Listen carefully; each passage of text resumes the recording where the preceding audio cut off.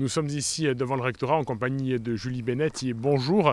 Alors, euh, cette année, le baccalauréat va bien se dérouler, mais en contrôle continu, comment cela va-t-il se passer? Alors, chacun peut bien comprendre, euh, au regard des incertitudes sur les évolutions de la situation sanitaire, que nos élèves ne pouvaient pas euh, passer leur baccalauréat selon les conditions habituelles.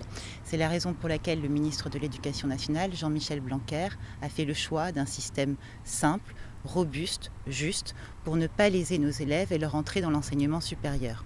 Concrètement, c'est que l'ensemble euh, des épreuves du baccalauréat, tant général que technologique et professionnel, vont être validées sur le fondement du livret scolaire. Concrètement, un jury d'examen des livrets se réunira pour arrêter les notes définitives des élèves à partir des notes obtenues sur le livret scolaire, mais aussi en prenant en compte l'ensemble des autres éléments du livret scolaire de l'élève, c'est-à-dire son assiduité, ses efforts et ses progrès tout au long de l'année terminale.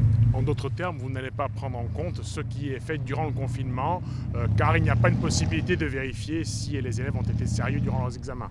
Tout à fait, le ministre de l'Éducation nationale avait le souci que ce système soit juste, équitable et qu'il ne pénalise pas les élèves au regard euh, de cette période de confinement et euh, des inégalités qui peuvent résulter de cette période de confinement. Raison pour laquelle les notes obtenues pendant la période de confinement ne seront pas prises en compte pour garantir le principe d'un traitement égal des candidats devant l'examen du baccalauréat.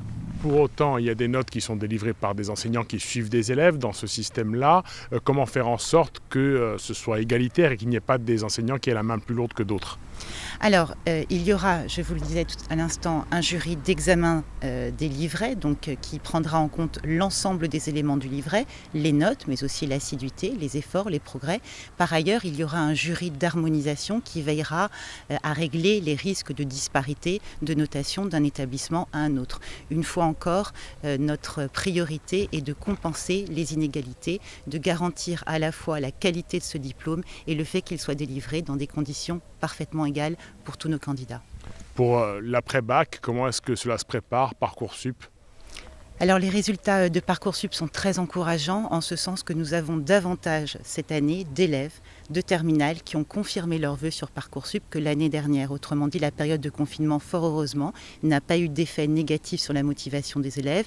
Il faut dire que nous avons veillé à accompagner euh, tout particulièrement nos élèves de terminale en demandant à chaque professeur principal, et je, et je les remercie de leur mobilisation euh, tout à fait exceptionnelle, en demandant donc à chaque professeur principal de terminale d'établir un contact étroit, direct, personnel avec chaque élève pour amener chaque élève à confirmer ses vœux.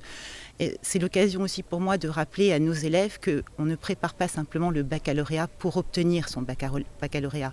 Autrement dit, même ceux de nos élèves qui aujourd'hui, au regard de leur moyenne générale, peuvent considérer qu'ils ont le bac en poche, ces élèves-là d'abord doivent travailler pour la mention, c'est un premier point, et surtout se rappeler que préparer son baccalauréat, c'est préparer sa réussite dans l'enseignement supérieur, c'est donner les moyens de réussir lorsqu'on intègre une formation de l'enseignement supérieur. Je rappelle qu'aujourd'hui, les deux tiers de nos étudiants ne parviennent pas obtenir une licence en trois ans. C'est la raison pour laquelle nos élèves de terminale, comme l'ensemble des élèves de l'académie, doivent persévérer, ne pas se démotiver et continuer à apprendre jusqu'à la fin de cette année scolaire. Le bac français, là, il y aura des épreuves, euh, c'est ce qui est prévu, comment vont-elles se dérouler? Alors l'épreuve écrite de français est annulée, comme les autres épreuves, c'est-à-dire que la note euh, de chaque élève sera établie à partir de l'ensemble des notes obtenues tout au long euh, de l'année de première dans cette discipline, hors les notes obtenues pendant la période de confinement. S'agissant de l'épreuve orale de français, qui est une épreuve particulière pour laquelle les élèves se préparent tout au long de l'année, l'épreuve orale est maintenue dans les conditions actuelles. Et bien évidemment la situation sanitaire peut encore évoluer, simplement pour tenir compte de la période de confinement et de ses effets sur euh, les apprentissages. La liste des textes est allégée, c'est-à-dire 15 textes dans la voie générale et 12 textes dans la voie technologique. Il y a également un dispositif qui est mis en place par l'Éducation nationale pour ceux euh, qui seraient victimes de la fracture numérique. Comment faire pour ceux qui n'ont pas Internet en cette période de confinement pour qu'ils continuent de travailler? Alors dès la fermeture de nos, écoles et de nos établissements, nous nous sommes emparés euh, de cette question de la couverture numérique de nos élèves.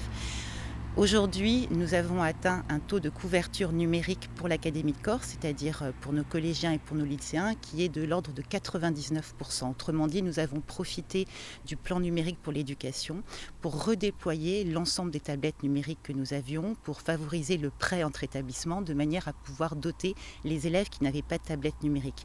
Par ailleurs, il nous reste environ 300 élèves qui n'ont pas de connexion numérique et pour lesquels j'ai sollicité la collectivité de Corse pour qu'elle puisse mettre à disposition de ces élèves des clés 4G ou en tous les cas des dispositifs équivalents pour leur permettre là aussi d'établir cette connexion numérique. Nous avons également un partenariat avec La Poste, avec une filiale du groupe La Poste que l'on appelle le dispositif Devoir à la maison et qui va permettre aux professeurs d'adresser directement à leurs élèves des devoirs qui seront imprimés, mis sous pli et adressés euh, à l'élève par euh, la poste. Et l'élève pourra retourner gratuitement ses devoirs qui seront numérisés et redirigés vers ses professeurs. Est-ce que l'on sait aujourd'hui euh, s'il y aura des cours d'ici l'été? Est-ce que le confinement va arrêter avant? Est-ce que vous avez des informations? Alors je n'ai aucune information euh, à ce jour et euh, je ne sais évidemment pas si nous serons en mesure de rouvrir nos écoles et nos établissements euh, d'ici la fin de l'année scolaire. Ce qui est important pour nous, quelle que soit l'évolution de la situation sanitaire, c'est de pouvoir garantir ce principe de continuité des apprentissages jusqu'à la date du 4 juillet, jusqu'à la fin de l'année scolaire. S'agissant de nos élèves les plus fragiles que nous devons accompagner tout particulièrement, nous prévoyons également sur la seconde semaine des vacances de printemps des stages de soutien scolaire, de remise à niveau pour lesquels nous allons solliciter nos élèves sur la base du volontariat ainsi que nos professeurs.